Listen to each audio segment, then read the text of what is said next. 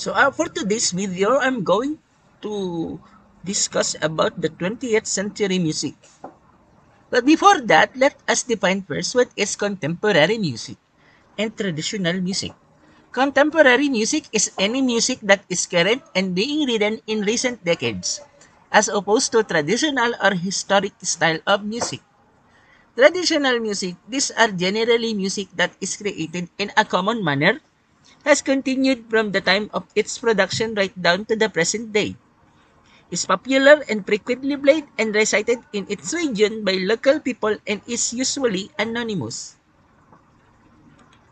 Now, what is 20th century music? Well, 20th century music is defined by the sudden emergence of advanced technology for recording and distributing music, as well as dramatic innovations in musical forms and styles. The history and the politics of 28 provided inspiration for the diverse range of musical styles developed between 1900s to 1999. Pioneered by composers ranging from Elgar and Britten to Stravinsky, Gershwin, and John Williams.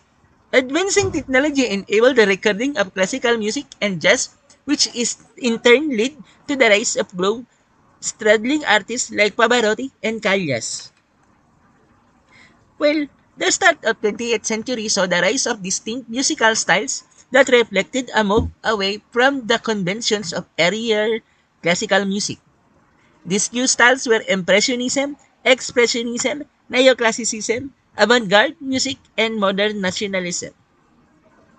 The start of 20th century saw the rise of distinct musical style that reflected a move away from the conventions of earlier Western classical music.